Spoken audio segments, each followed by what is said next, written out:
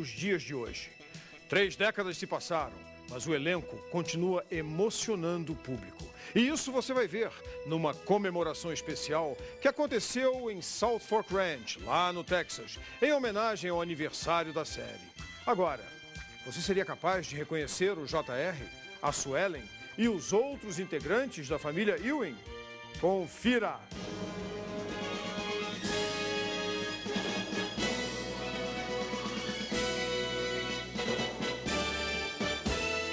Um dos maiores sucessos da televisão mundial está completando 30 anos.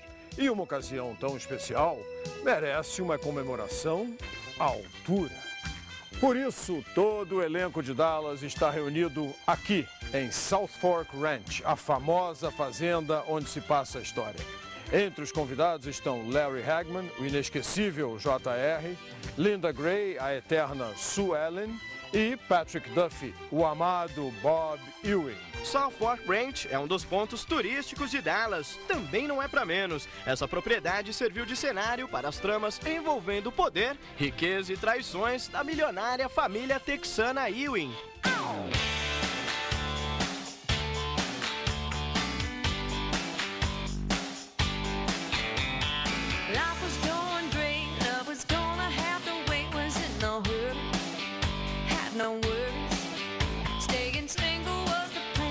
Diariamente, centenas de fãs visitam o local e revivem as emoções exibidas na série. Mas o dia 8 de novembro de 2008 ficará registrado na história de Dallas. Esta é a data do maior evento com o elenco e os telespectadores da atração. E nossa equipe de reportagem está aqui em Dallas justamente para cobrir a festa de 30 anos da série.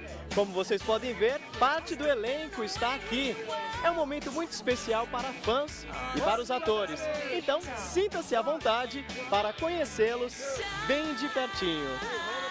No evento, que reuniu milhares de fãs e jornalistas do mundo inteiro, estavam presentes as estrelas da série, como Linda Gray, que interpretou a sensual Sue Ellen, Charlene Tilton, que deu vida à espiritada Lucy, Patrick Duffy, que fazia o bom moço Bob, Ken Kercheval, que interpretou Cliff Barnes, o inimigo número um da família Ewing. Também participaram da festa Steve Canale, que fez o Capataz Ray. E, é claro, o grande nome do elenco, Larry Hagman, que imortalizou o vilão J.R. Ewing, o primogênito da família Ewing, que na trama é dona de uma das maiores empresas de petróleo dos Estados Unidos.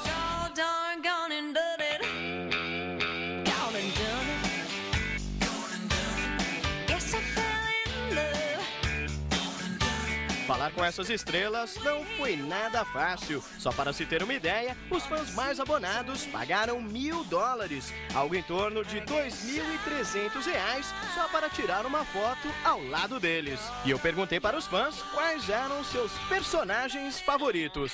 I'd say JR. I think he's the best television character of all time. I've always loved Sue Ellen. I can't imagine why. Pammy.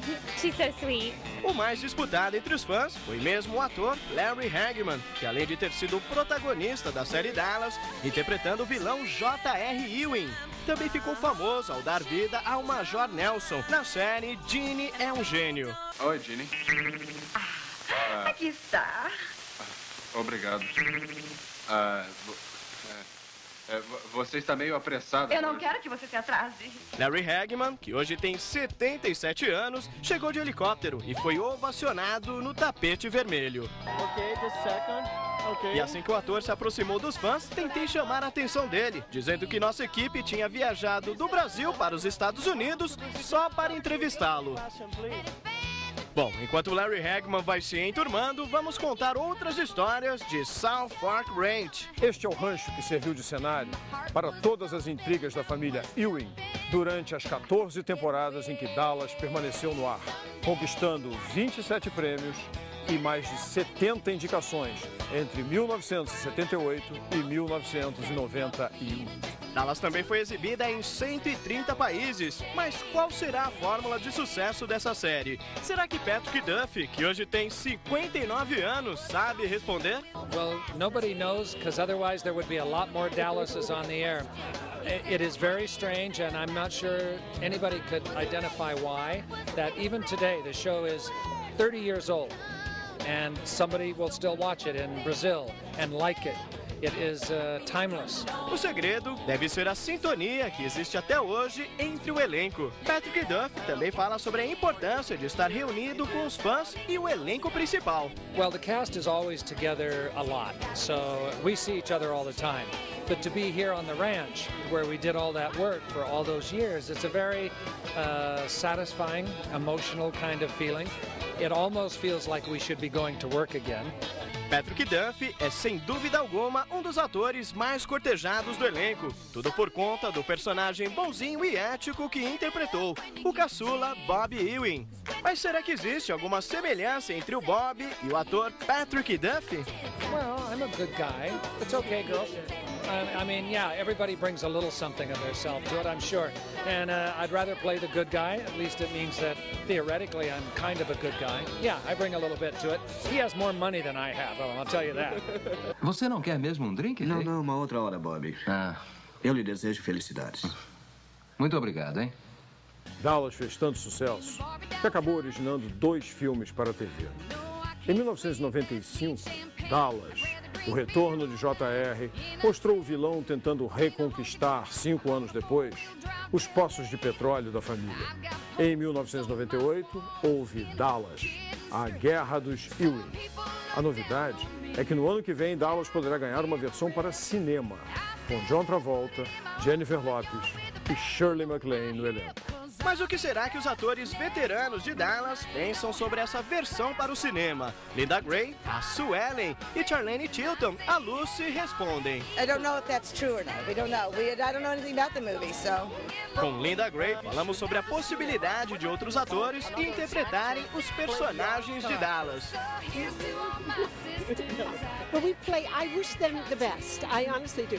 But I think that um, after we did a series for 13 years, global, around the world, and for them to do it in two hours, I don't know that they can do it. E já que iniciamos uma conversa com as mulheres do elenco, veja só essa curiosidade.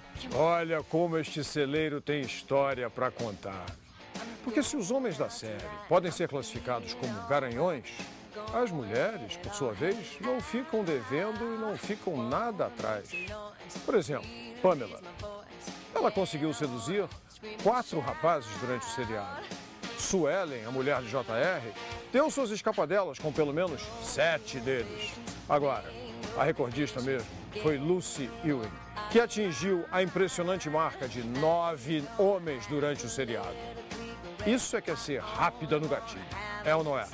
Mas será que no auge dos seus 50 anos, a atriz Charlene Tilton também é namoradeira assim, como a personagem que interpretou?